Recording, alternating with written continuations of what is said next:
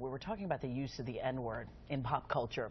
It's always been a sensitive su- subject, and now a word that came from such a negative time and place has unfortunately made it into, you know, so many people's common vocabulary, and sometimes it's even used as a term of endearment. Yeah, for parents, what happens when you hear your child using that word, repeating a lyric of a song?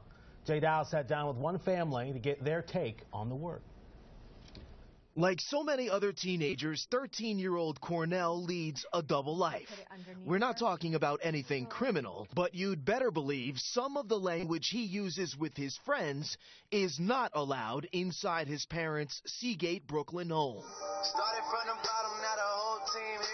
Especially when it comes to one single hot button word, the N word.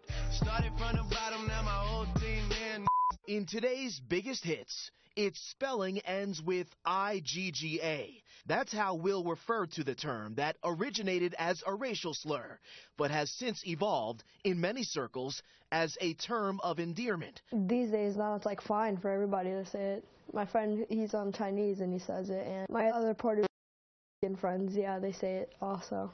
Do you ever use it? Hell no. Why? Why? Because of the history of that word with slavery. Him as a slur and used in a friendlier way. It's also in the music they listen to. Like sounds like that. Like my mom will tell me like to not say those words, like to like censor it out. She doesn't care whether it's GGA or GGER. She just doesn't like the word. It's a delicate balance for Cornell's mother, Allison Graham.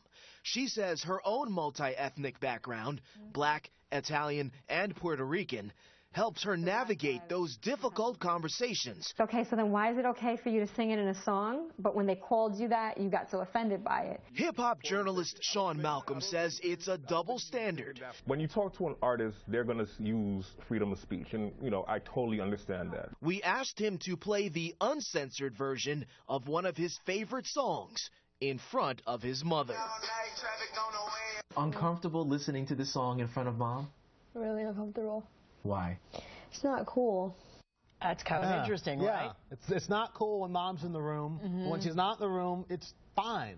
It's very interesting the way that, uh, that kids are looking at this issue and, and kids that don't really understand, you know, the, the real meanings and, and the roots of that word. You know, this topic I know has a lot of you talking as well on our Facebook page. Yeah, we want to know if there is an ever, is there an ever appropriate time to use the N word? And here's what some of you were saying this morning.